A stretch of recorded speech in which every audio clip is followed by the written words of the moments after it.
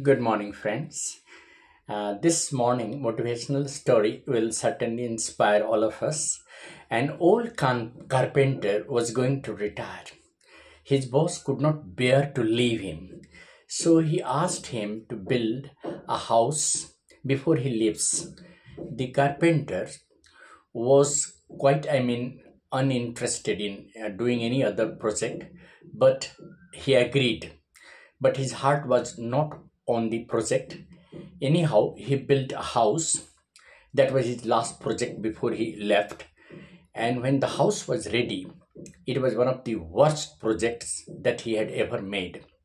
He just told the king that the house he has made is ready now. The king just observed the project and saw the house. It was ill built. But then he announced that this was the house uh, that is a parting gift for you from my side. The carpenter was shocked to hear that the house he built with no interest was actually meant for him. Therefore, he regretted because he never knew that the house that he was building as the last parting gift was actually meant for himself. Therefore, the moral of the story suggests that be the best whatever you do.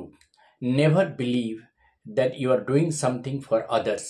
Whatever you are doing is you are doing for yourself. So never, I mean, do anything with uh, without any interest without any zeal and enthusiasm.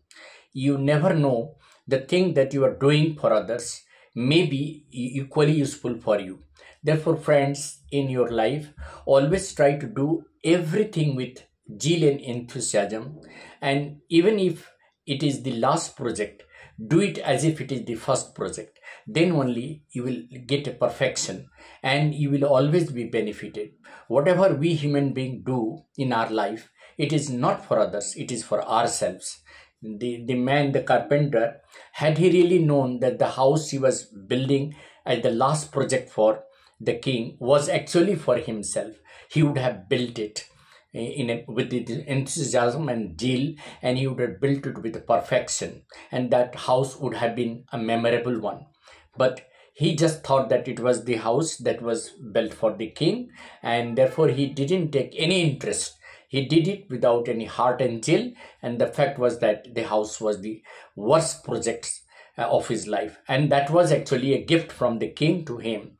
And so he regretted on his lack of enthusiasm and jill uh, while doing the last project. So, friends, always believe, be at your best, whatever you do.